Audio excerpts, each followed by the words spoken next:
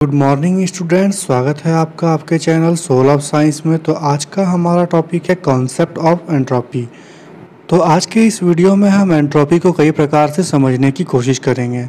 तो हम सबसे पहले एंट्रोपी को एक एनर्जी के तौर पर समझते हैं। देखिए एंट्रोपी जो है किसी सिस्टम की, वह एनर्जी है जिसे वर्क में कन्वर्ट नहीं किया जा सकता। यानी कि वह अनयूज़फुल या अनअवेलेबल एनर्जी है। तो चलिए इसे अब किसी एटम के रैंडमनेस के तौर पर समझते हैं। अगर हम कहें रैंडमनेस ऑफ़ द मॉलिक्यूल और एटम इस कॉल एंट्रोपी तो ये भी गलत नहीं होगा, क्योंकि देखिए, हम जानते हैं कि किसी भी मैटर के अंदर मॉलिक्यूल्स जो है वो लगातार मोशन में हैं, वो लगातार मोशन कर रहे हैं, चाहे वो सॉलिड हो लिक्विड हो गैस हो। तो वो तो एनर्जी है उनमें बट हम उसे वर्क तो नहीं कर सकते हैं। तो चलिए इसे और आसान तरीके से समझते हैं। हम जानते हैं कि किसी सॉलिड के अंदर जो एटम होता है, वो बहुत ही स्लो मूव करता है।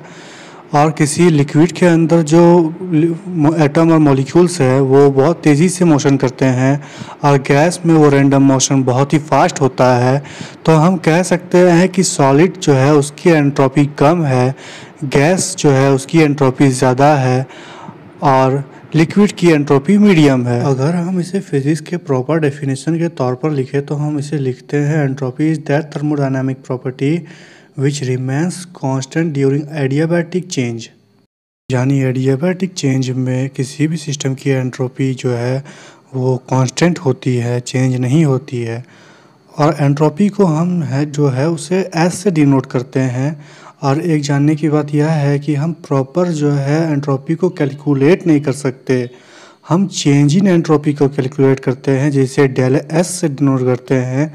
और डेल एस जो होता है वो इक्वल होता है S one minus S two के जहाँ S two minus S one final entropy minus initial entropy है और चेंज इन एंट्रोपी का जो फार्मूला होता है वो होता है D Q upon T T जहाँ एब्सोल्यूट टेम्परेचर है और डी क्यू जो है वो हीट है चेंज इन हीट तो अगर आपको वीडियो अच्छा लगा हो तो चैनल को सब्सक्राइब करें, वीडियो को लाइक करें एंड शेयर करें।